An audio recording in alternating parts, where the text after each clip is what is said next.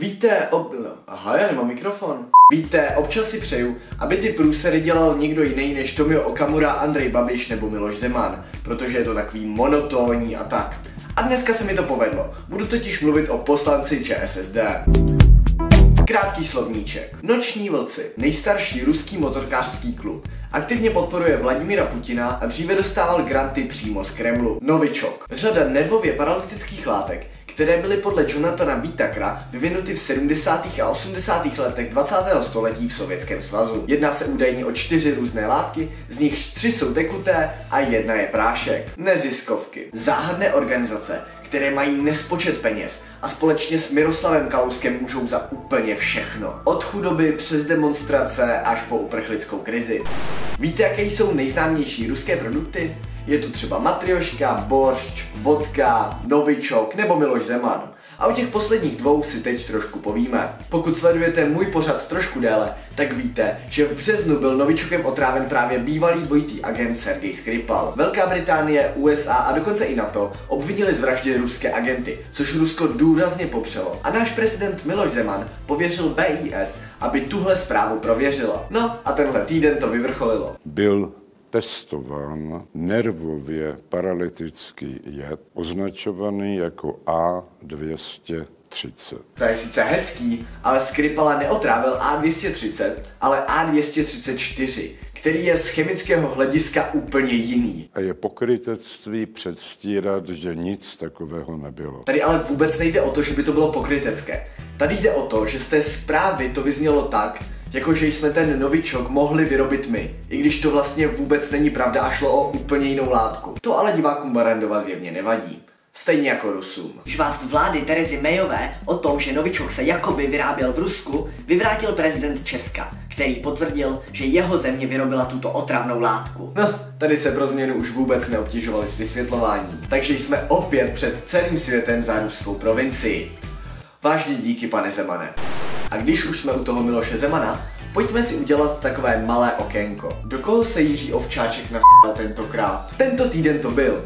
Miroslav Kalousek, předseda Senátu Milan Štěch, novináři Jiří Drahoš, týdeník Respekt, Česká televize, Evropská unie, Nora Friedrichová, Český rozhlas, aktivisté a Petr Hlaváček. Jestli to bude takhle dál pokračovat, tak já ty jména dám normálně takhle pod sebe jako do titulku nakonec a jeden díl bude mít titulky jako Avengers. A jdeme na další téma. Trestně stíhaný podnikatel, bývalý agent STB a čistě náhodou i premiér v demisi Andrej Babiš měl v Brně debatu s občany a poté i autogramiádu. Dvě aktivistky se za ním proto vypravily, aby jim podepsal knihu Post Babiš od Jaroslava Kmenty. který bral A napsal tam takovou knížku, napsal něco, co jmenuje to bylo takový podobný, ne? Pana nás znáte. Ano, tohle řekl ženě druhý nejdůležitější politik v našem státě. Jako takhle, já ho chápu. Neznám nikoho, kdo by rád poslouchal o svých neduzích a zločinech, ale přeci jenom jako politik a už vůbec premiér by si měl zachovat nějakou gráci a slušnost. Přeci jen, co by mu udělalo, kdyby slušně odmítnul? Pokud tvrdíte, že to nejde, připomenu vám jeden případ z roku 2009, kdy aktivisti, čistě náhodou taky v Brně, nosili tehdejšímu prezidentu Václavu Klausovi na podpis kopii Lisabonské smlouvy. Václav Klaus tu první kopii s úsměvem podepsal, u druhý jim řekl, že by si tu smlouvu měli nejdřív přečíst a u šestého podpisu jim řekl, tohle já vám nepodepíšu, nezlobte se. Tohle je podle mě třeba úplně vzorový příklad, jak takovou situaci zvládnout slušně a s grácí. Abych vám nezamlčel konec příběhu, Andrej Babiš nakonec knihu o sobě podepsal. Sice ne těm dvou aktivistkám, ale aktivistům Martinu Uhlířovi o kterým bude teda dneska mimo jiné taky řeč, ale nedal mu jen tak jaký podpis. Napsal mu na něj dokonce i vzkaz. Kmenta je lhář. Andrej Babiš s dalším tématem zabrousíme opět na Slovensko. V srpnu minulého roku byl do vedení rozhlasu a televize Slovenska zvolen Jaroslav Rezí. Od té doby začaly být do pozic v RTVS dosazování lidé, kteří měli docela silné politické vazby. V dubnu tohoto roku byl vydán otevřený dopis, který podepsalo 60 novinářů. V tomto dopise byla právě kritika poměrů v RTVS. Rezník tuto kritiku označil za výkřiky mladého a radikálního jádra, což vůbec není pravda. Tento dopis podepsalo i dost lidí, kteří v RTVS pracují přes 10 let. jako třeba uznávaná novinářka Olga Baková. Naozaj sa tam nakopilo viacero problémov. Kolegovia dostávajú informácie o tom, že koho majú a koho by nemali používať ako povedzme politologov, analytikov, ktorí sa majú problému vyjadrovať. Abych to zkrátil, Olga Baková už v RTVS nepracuje. Stejně jako další čtyři novináři. Čistě náhodou i oni podepsali ten dopis. Tohle ale pořád není konec. 3. května byl vydán další dopis, který podepsal už přes 200 novinářů. Mimo jiné se v něm píše. Nové vedení RTVS cíleně šikanuje, omezuje a zbavuje se dlouholetých novinářů, kteří v posledních letech zásadním způsobem přispěli k obnovení důvěry veřejnosti ve veřejnoprávní média. Tohle už začíná být silný kafe. Šéf zpravodajství Vahram Chugurian dokonce zakazoval svým redaktorům nosit odznáčky hashtag All for Jan, které vyjadřovaly solidaritu s Janem Kuciakem. Hodně podobná věc se v Česku už stala, a to v roce 2001, kdy se politici, zejména z ODS, snažili ovládnout českou televizi pomocí ředitele Jiřího Hodače a šéfky zpravodajství Jany Bobošíkové. A došlo taky na rozdávání výpovědí. Takže já bych vám tady před, předala okamžité zrušení pracovního poměru. No, takže paní Bobošíková, vy jste četla, já to to zatím od vás nechci, já budu také s dovolením číst. Ne, převezmete to nebo ne? Já to nepřezmu chci, chci se k tomu vyjádřit. Pan prosím kolega vás, Maršál nepřevzal, ano. Chci se... Redaktoři si to ale nenechali líbit a na kavčích horách zůstali. Začalo období, které se lidově nazývá Bobovize nebo Bobo TV. Zbouření redaktoři dokonce přespávali na kavčích horách, protože ochránka například z Jiřího Hodače přestála pouštět do budovy. V Praze kvůli tomuhle vlastně proběhla jedna z největších demonstrací a v jednu chvíli dokonce bylo dvoje vysílání české televize. Jedno vysílali právě zbouření redaktoři z Kavčích hor a druhé vysílala Jana Bobošíková s pár lidma z různých studií po Praze. Doporučuji se kvůli tomuhle podívat na video od Standy, budete ho mít dole v popisku. Nakonec to ale dopadlo dobře. Hodač byl odvolán a spolu s Bobošíkovou skončili v propadlišti dějin. Proč to ale říkám? Všimli jste si té podobnosti s tou situací na Slovensku teď? V podstatě můžeme jenom doufat, že to dopadne podobně.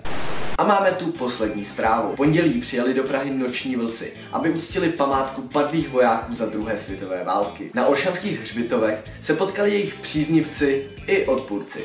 A jak víme, to nikdy nedělá dobrotu. Ať je Rusko! Běží podporujete diktátorský systém! Vy neuznáváte památku padlých ruských vojáků.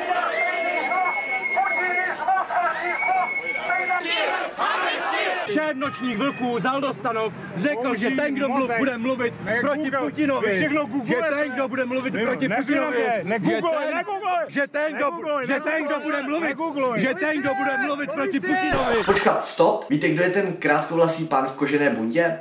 Jaroslav Foldina, místo předseda ČSSD, poslanec a zastupitel města Děčí. Na Olšanské hřbitově šel podpořit noční vlky a tak nějak se stihnul pohádat s několika lidmi. Jen tak mimochodem ten člověk, se kterým se tady Foldina skoro líbá, je právě Martin Uhlíř. Ten aktivista, který si od Babiše nechal podepsat Boss Babiš. Zjevně má rád prostý lidi. Foldina ale tuhle momentku okomentoval fakt krásně. Nebouchli jsme do sebe hlavami. Jen jsme do sebe ťukli. Chtěl jsem mu dát jazyk, protože jsem si myslel, že je gay. No já úplně nevím, jestli takový intimnosti tahat na veřejnost. Každopádně předseda ČSSD Jan Hamáček jeho iniciativu na této akci odsoudil a řekl, že to překročilo meze. Foldina na to reagoval po svém. No, jako místo předseda sociální demokracie, že prý jsem se hádal s aktivisty. S jakýma aktivistama?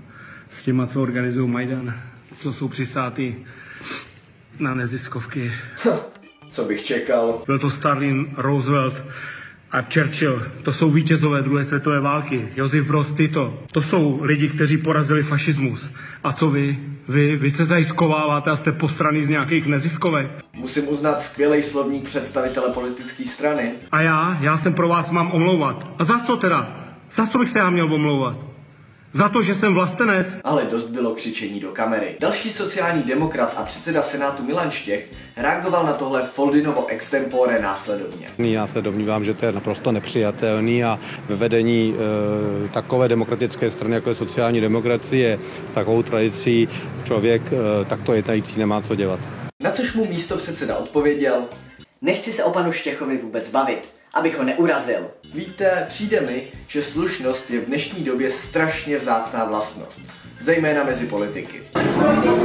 Google, negoogle! Vemte se za ruce a běžte do prdele. Ale, ale to, co dneska předváděl ten Ksindl, nějaký ten Novák. Mně je těch chudelčků líto. Vlasatou 60 kilovou máničku. No a nám nezbývá nic jiného, než doufat, že tyhle lidi v politice moc dlouho nebudou.